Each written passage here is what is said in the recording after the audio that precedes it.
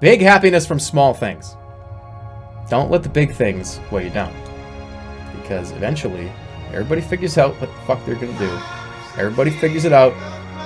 Trust me, I'm 32. I'm, I might not look it, but I'm fucking 32. And trust me when I say this.